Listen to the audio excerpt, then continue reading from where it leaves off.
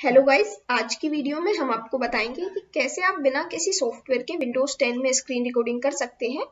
इसके लिए सिंपली आपको टास्क बार में विंडोज़ पर क्लिक करना है। फिर आपको सेटिंग पर क्लिक करना है। यहाँ पर आपको एक ऐसा इंटरफेस मिल जाएगा। आपको यहाँ पर गेमिंग का एक ऑप्शन मिलेगा, यहाँ पर आपको क्लिक करना है। मेक श्योर sure कि आपका गेमिंग बार ऑन हो। अगर ये ऑफ़ है तो इसे ऑन कर लीजिएगा। यहाँ पर आपको काफ़ी सारे शॉर्टकट्स मिल जाएँगे।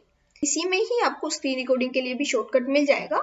यहाँ पर जो स्क्रीन रिकॉर्डिंग के लिए शॉर्टकट है, वो है Windows plus alt key plus R ये बाय डिफ़ॉल्ट है बट आप इसे अपने हिसाब से चेंज कर सकते हैं।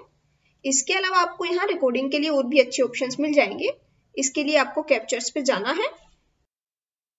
यहाँ पर आप audio quality frame rate video quality सब अपने हिसाब से सेट कर सकते हैं। अब वापस आते हैं होम स्क्रीन पे। स्क्रीन रिकॉर्ड करने के लिए आपको यहाँ shortcut key Windows plus alt plus R press करना है। इसके बाद में आपको एक नोट मिलेगा कि ये home screen and file explorer को रिकॉर्ड नहीं कर सकता। ये इसका एक ड्रॉबैक है बट डोंट वरी ये सभी गेम एप्लीकेशन एंड दूसरी एप्लीकेशन जैसे browser YouTube PowerPoint presentation Microsoft और जितनी भी एप्लीकेशन है, सभी को ये बहुत आसानी से अच्छी क्वालिटी में रिकॉर्ड कर सकते हैं। जैसे मान लीजिए, मुझे कोई प्रेजेंटेशन की रिकॉर्डिंग करनी है।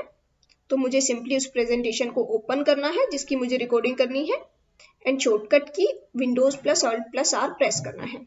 और ये रिकॉर्डिंग स्टार्ट हो गई है। अब आप माइक चाहे तो ऑन कर सकते हैं ऑफ़ कर सकते हैं, जैसा भी आप चाहें उसे रख सकते हैं और अपनी स्क्रीन रिकॉर्ड कर सकते हैं। तो गाइज़ ये था विंडोज़ 10 का इनबिल्ट स्क्रीन रिकॉर्डर अगर आपको वीडियो पसंद आई हो तो वीडियो को लाइक कीजिए, अपने फ्रेंड्स के साथ में शेयर कीजिए एंड चैनल को सब्सक्राइब कीजिए। Thank you so much